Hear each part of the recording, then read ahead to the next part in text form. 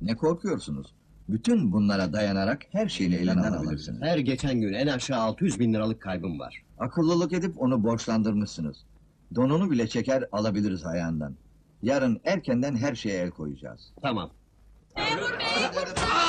Oğlumun bunlar. Oğlumun ölürüm de vermem. Baba sakin ol ya. Oğlumun bunlar diyorum. Nasıl Sakin ol baba. Saçmalamayın şirketin malı. Reklam için vermiştik ona reklam için. Anlamıyor musunuz? Oğlumun Oğlumun da. oğlu. Hanım hakkında kanuni işlem yapılmasını istiyorum. Şirket malını gasp etmiş. Yalan hepsini kendi verdi bize. Yeni evimize yerleştirecektik. Oğlunuz sizi aldatmış.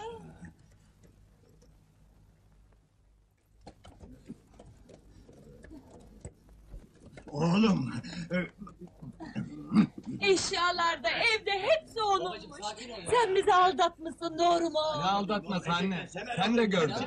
Törenle verdiler evi bize. Bütün gazeteciler de oradaydı. Reklam da onlar. Anladın mı reklam? İşim yok da sana milyonluk daire verişeyim. Nerede tapun ulan? Nerede? Söyle diyorum nerede? Nerede?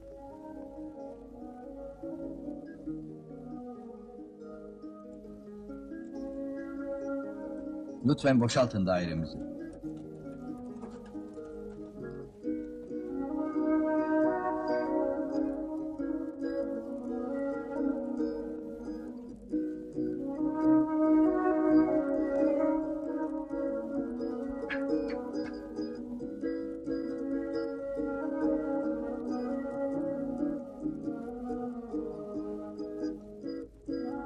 Üzülme sen ana.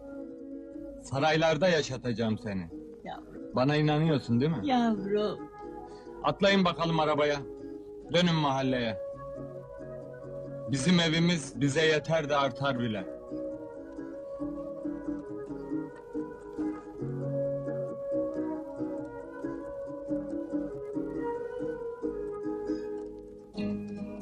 Seni perişan ederim demiştim. Yok ya.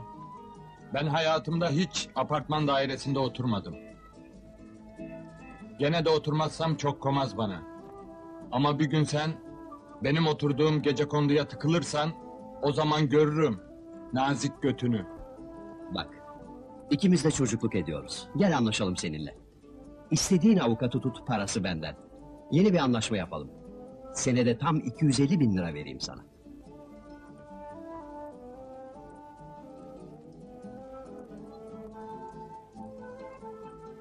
Fakir fukarayı kandırma karşılığı mı? Canım nasıl laf öyle? Bak, özür diliyorum senden. Bir aptallık ettim. Affet beni. Ha? Bir de Murat araba vereyim sana. Bitsin bu iş. Hadi hadi.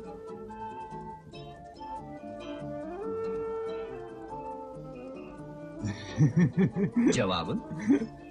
Eşyol eşek.